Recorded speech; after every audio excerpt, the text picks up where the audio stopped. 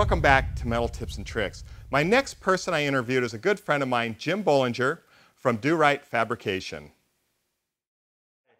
All right, you guys, welcome to Bar Z Summer Bash 2016. We're going to be doing some interviews of the different YouTubers, and right now I've got Jim Bollinger from Do Right Fabrication. And Jim, you have been on, you've had your channel up about a year and a half. Just about a year and a half. And what you, how, many, how many subscribers? Um, right around 5,000.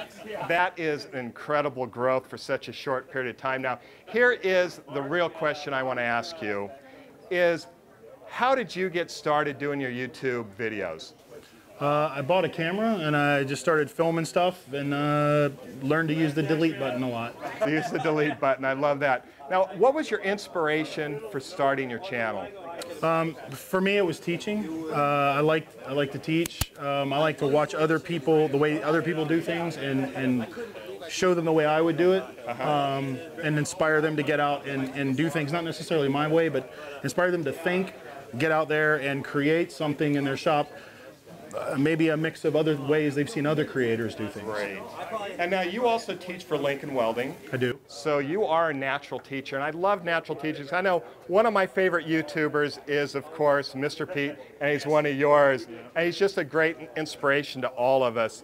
Now, let me ask you this question. What advice do you have to somebody wanting to start a YouTube channel or already has one? Probably for me, it would be the same advice that I, that I took uh, from some people is just turn a camera on, and start filming. There's, you, you just have to do it and you're not going to like it the first time. You're not going to like it the third time. That's okay.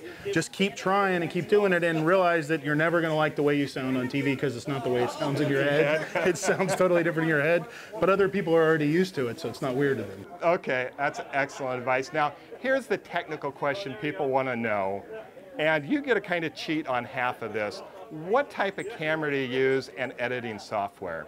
So for the cameras, it's it's real simple. They're uh, GoPro uh, Hero 3 Black Editions. I have three Black Editions and one White Edition. I just use the white for uh, watching the mill, the lathe, whatever okay. whatever I'm doing. Um, the others are my face face cameras set up around. Okay. Uh, for editing, I just tell people uh, I fix a computer with a hammer. Computers and I, we just don't we don't we don't communicate.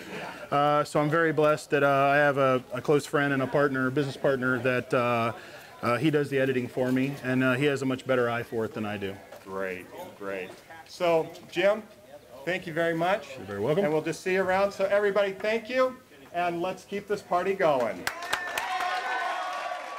I hope you guys have enjoyed this interview. I know I enjoyed producing it and also getting a chance to talk to these guys. It's been a great experience.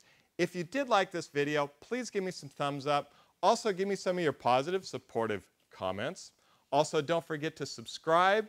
And until next time, go out in your shop, build something cool. Thanks.